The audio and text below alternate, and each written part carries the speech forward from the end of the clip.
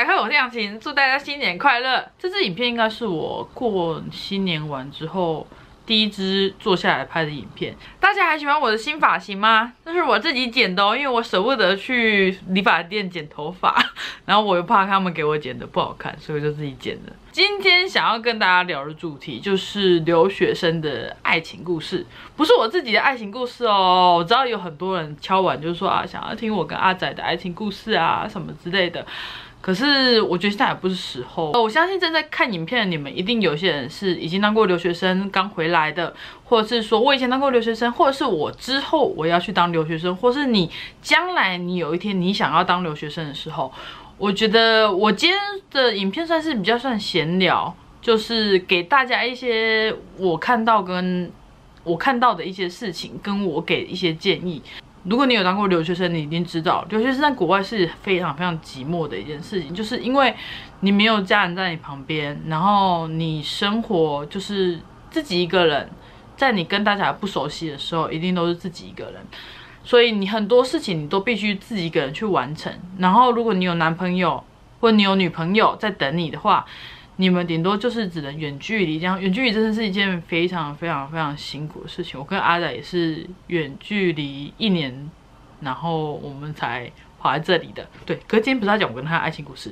好，反正就是留学生跟留学生是非常非常容易在一起的。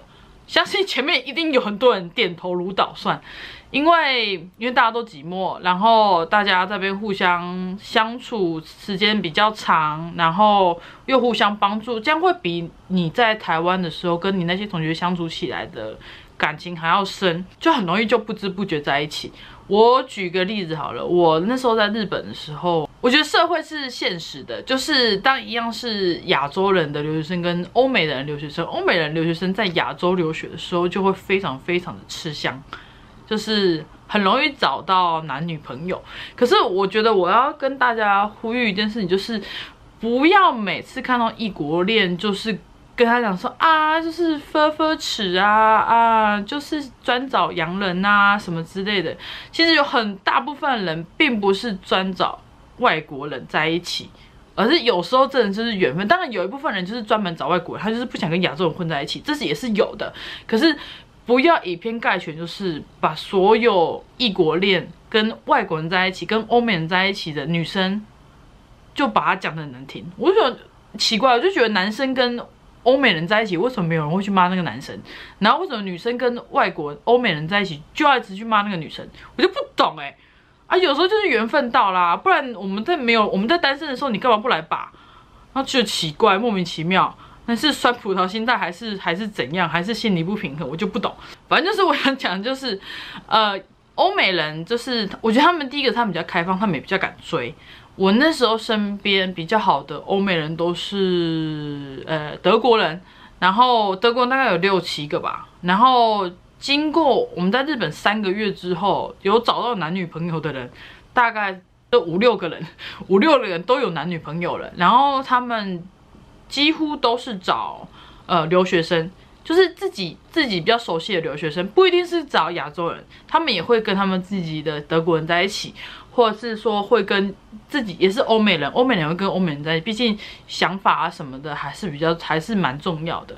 然后也有那种呃跟学伴在一起的也有，就是我觉得因为长时间相处下来是真的很留学生跟留学生真的很容易很容易在一起，因为课堂也在一起，然后没有课的时候也在一起，然后就都在一起，所以我觉得在国外。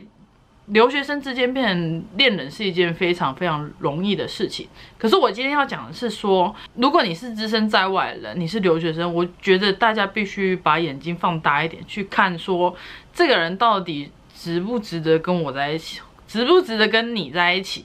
因为有很多烂人是真的。像我这学期我在法国好了，我们班有个印度人，他真是超级超级超级烂，烂到一个爆炸。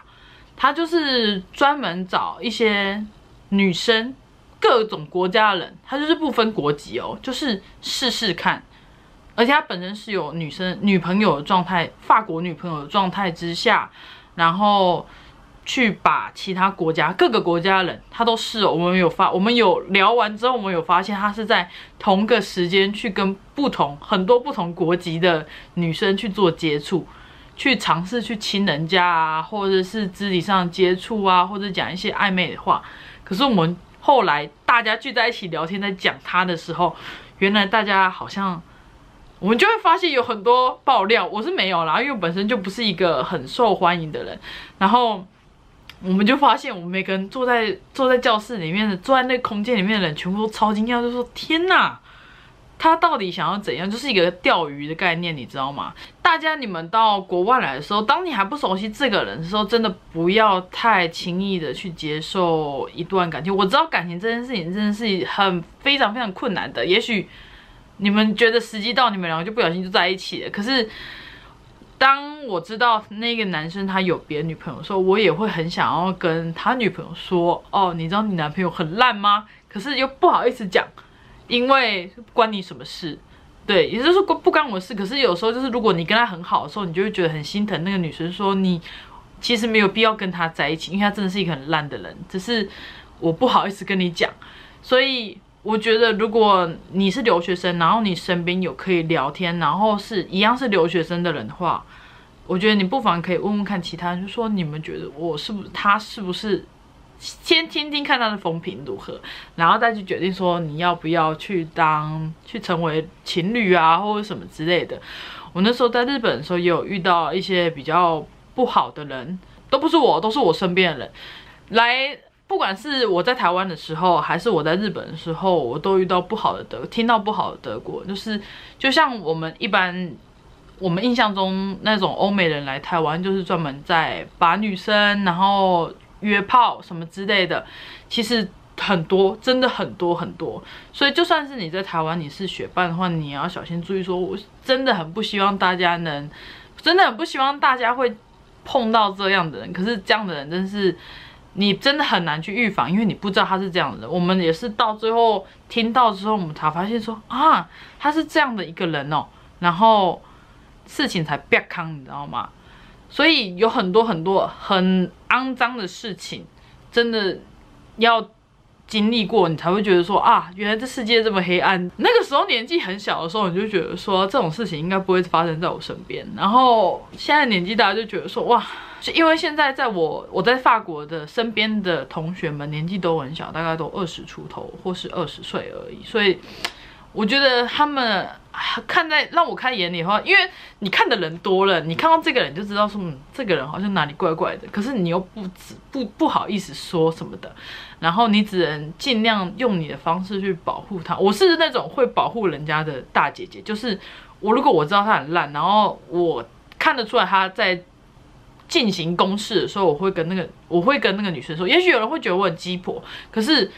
我会知道说他用这个方式是他之前对付很多人都有这样的方式，所以我就会跟他警告说：“哎，你那个男生你可能要注意，他可能会怎么样之类的。”可是目前目前来说是我还我真的有跟我在 Instagram 聊天过的人的话，他们都应该都知道我是一个很鸡婆的人，然后就是话很多。谢谢你们喜欢我，反正就是。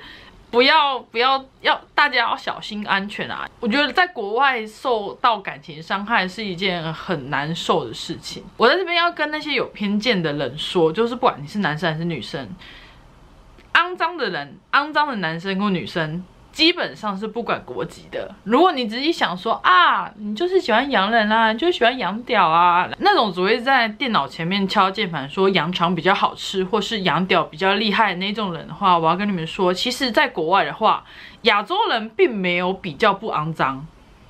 你常说，我们常说，在台湾的话，很多欧美人都跑来这边来拔台湾女生或者是什么的。其实很多亚洲人他到欧美来的时候。他也是在专找亚洲女生啊。他虽然可能他比较不会去把那个欧美女生，可是你说那种很烂的男生，难道他不会去骗那些亚洲女生吗？也会哦。我跟你讲，也蛮多的哦。就是欺骗感情的人，并不分国籍。我遇到很很烂的韩国人，我有遇到很烂的台湾人，我有遇到很烂的中国人，也是都有啊。其实是都有，都一样。女生也有。烂人真的是四处都是，并不是只特定到某一些种族或什么之类的，只是不管是怎样，你们到国外或是你自己在台湾的时候，我觉得你们自己都要小心。就是要小心观察。这是如果我有女儿的话，我会很想要这样跟大家讲，因为有时候我在旁边看的时候，我会看到一些美眉们，我就会觉得很心疼。就是说，哦，如果当初有一个人，是啊，我又开始鸡婆了。就是如果当初有人跟我跟跟他讲的话，也许他那个时候不会这样伤心。然后，因为我那时候就是也有朋友这样，所以就会觉得说啊。以过来算是以过来人的经验，可是我不会去很强迫跟他说，你千万不要跟他在一起。我会跟他们说，嗯，你可以观察看看。我是用这种方式，我并不是说啊，不要跟他在一起啊。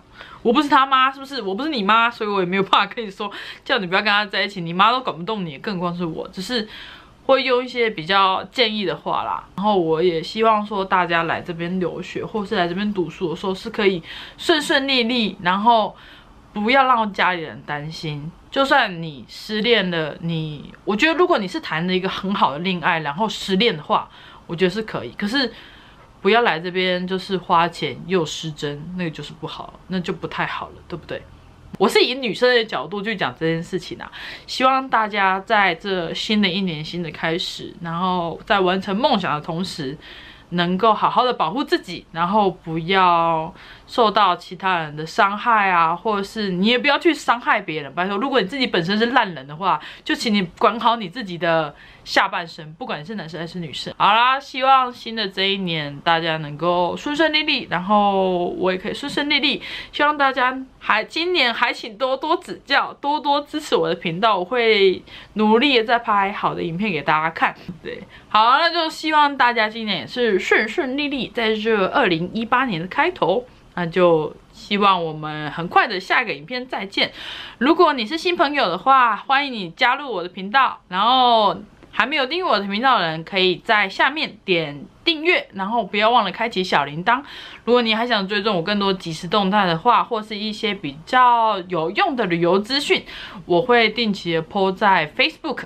然后想看即时动态的话，请追踪我的 Instagram。